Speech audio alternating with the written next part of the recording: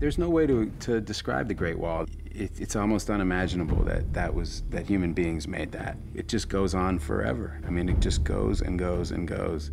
But this is a historical fantasy. It's not quite the Great Wall that exists today.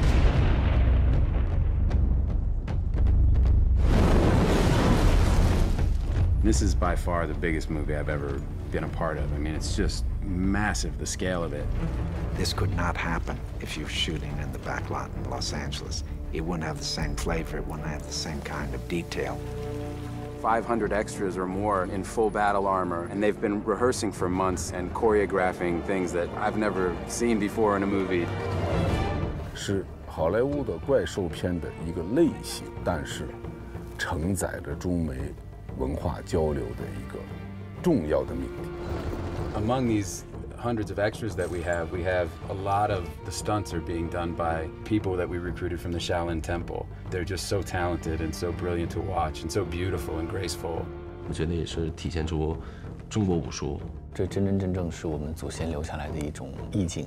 Zhang Yimou paints on this spectacularly large canvas, and he does it in a way that nobody else does. It's a great thing to be part of one of his visions. Chinese traditional culture using Western framing technique.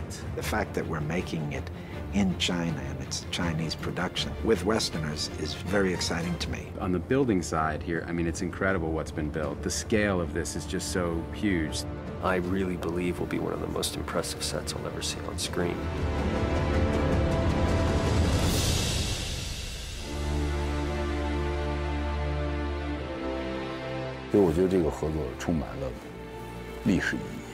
It's so special to be a part of something that's breaking new territory. Chinese sensibility and Western sensibility in making a movie.